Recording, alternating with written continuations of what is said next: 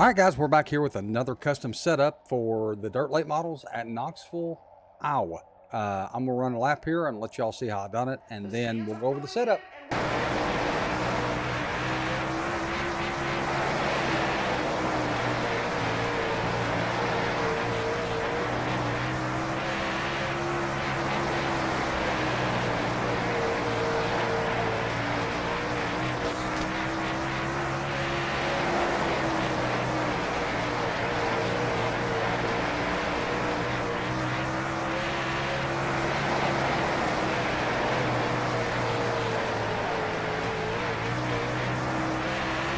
All right, guys, before we get started, I just want to let you know that entering the corners at Knoxville, Iowa, you're going to have to get used to coming off the bottom, driven to the drifting to the outside wall, entering the corner, but never lifting and staying right on that cushion. And you can kind of feel the car grab, you know, into the corner, and you've got to turn down across the corner and come off somewhat towards the bottom, but you can feel the traction if you're using a wheel coming down across the bottom, and then you drift all the way back out to the outside wall, entering the next corner, and do the same thing again. You enter high, you can feel it grip, uh, like especially three and four, it kind of like it drifts for just a second, and then you can feel it catch. And then as soon as it starts catching, you got to start turning it down the hill to get off, not necessarily directly to the bottom, but you got to get down the hill uh, instead of trying to stay out wide with it. Because if you stay outside wide with this setup, you'll never hit it. So you got to get in high and then kind of once you feel the traction, start turning down across the corner. But I just want to put that out there. Anyways,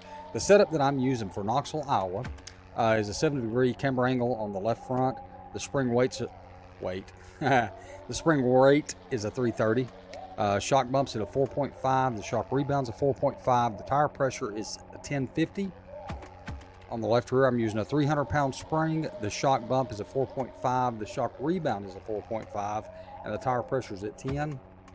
The right front, the camber angle is a negative point, negative 7.5 degrees. Spring rate's at 430. Shock bumps at 4.0. The shock rebounds at 4.0. And the tire pressure is at 11. Uh, the spring rate is at 360. Shock bump is at a 4.0 on the right rear. The shock rebound is a 4.0 on the right rear. Tire pressure is at 12 and the tire staggers at 4 inches on the right rear. The front brake bias is at 40%, which I don't ever use a brake, so it don't matter.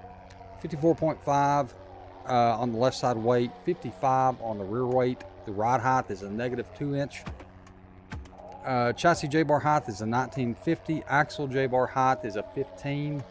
Uh, ride height's at negative 2 inches on the rear. The rear weight is at 56. Wheel lock is always at 30. No steering offset. Tire compound is soft. And the rear end ratio is a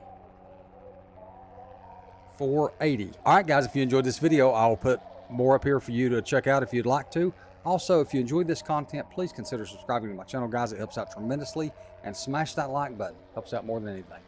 Thank you all for watching. We'll see you in the next video.